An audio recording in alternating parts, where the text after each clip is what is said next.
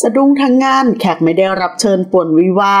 เจอคนจริงในชุดเดรส สวมบทฮีโร่จำเป็น จัดการด้วยมือเปล่าชาวเน็ตแซว เจอแล้วคนที่ดูแลเราได้ ข่าวเด่นข่าวเด็ดจะพาเพื่อนๆไปดูกระแสในโลกโซเชียลกันค่ะ ที่กำลังเป็นที่ฮือฮานะคะ ถึงแขกที่ไม่ได้รับเชิญที่ปรากฏตัวในงานแต่งงาน ในรัฐแอริโซนาสหรัฐอเมริกาค่ะ ซึ่งก็เป็นงูตัวใหญ่ที่บุกเข้ามาในงานวิวาห์นะคะ ก่อนที่จะมีฮีโร่สาว คว้าหางงูโดยมือเปล่า เดินนำไปปล่อยแบบชิวๆเลยค่ะ ผู้ใช้ติ๊กต็อกรายหนึ่งได้ออกมาแชร์วิดีโอนาทีที่สาวสวยชื่อว่าเอริก้านะคะ เธอใส่เดรสยาวสีอิฐกำลังเดินตรงเข้าไปจับงูด้วยมือเปล่า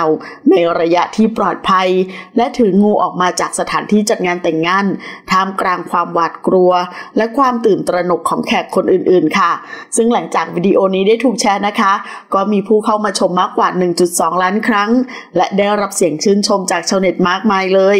หลายคนเข้ามาคอมเมนต์นะคะว่าเธอคนนี้กล้าหาญมาก ไม่กลัวสิ่งใดเลย คอมเมนต์ถัดมาบอกว่า เธอคือผู้พิทักษ์งานแต่งงานที่แท้จริง คอมเมนต์ถัดมาบอกว่า ฉันต้องการเบอร์ติดต่อและขนาดแหวนของเธอ ซึ่งทางเอริกาให้สัมภาษณ์นะคะว่า คนงานพยายามจะจับงู แต่งูพลิกขึ้นไปบนขั้นบันได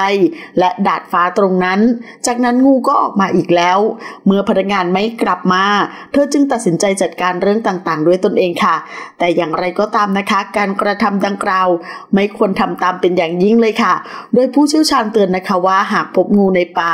การุณาออกจากที่เกิดเหตุทันที อย่าพยายามจับงูด้วยตัวเอง แนะนำให้หาผู้เชี่ยวชาญมาจัดการกับงูจะดีกว่าค่ะ ขอขอบคุณข้อมูลจากข่าวสดขอบคุณค่ะ